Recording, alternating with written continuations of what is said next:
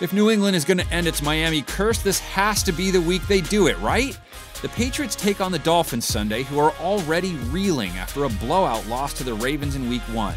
We'll see if any of our NFL media panel members think another upset is brewing, but first let's cover a couple keys to the game. For New England, it should be another big game for TB12. And then Brady shoots one to Josh Gordon.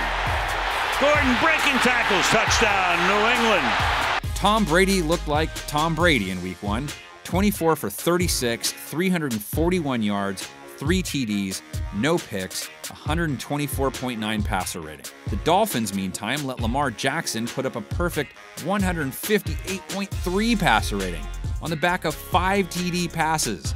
I know it doesn't work this way, but if Lamar Jackson can do that against them, then what will Brady do? And as good as Brady was, his defense might have been better. They held Ben Roethlisberger to a 65.6 passer rating, Juju Smith Schuster to 78 receiving yards, and James Conner to 21 yards on 10 carries. Simply put, they showed few weaknesses in their opening game. The Dolphins' key, on the other hand, is simply forgetting last week and hope for another miracle because on paper or film, this matchup doesn't balance out. Ryan Fitzpatrick threw for less than 200 yards. Kenyan Drake ran the ball four times for 12 yards. They allowed Marquise Brown to put up an incredible debut, four catches, 147 yards, and two TDs, and their rush D allowed Mark Ingram to hit them for 107 yards on the ground and two scores. Ingram walks it in for a touchdown, his second of the half. So that means history might be their best bet.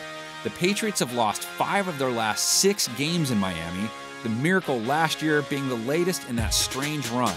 Because the Pats go into those games the favorite every time and inexplicably have come out with a loss in most cases. Will it happen again? Sunday in Miami, New England Dolphins, 1 p.m. Eastern kickoff. Now let's see what our NFL media panel thinks. Funky little snap. and wide, wide open. Phillip Dorsett. Big night for him. Touchdown.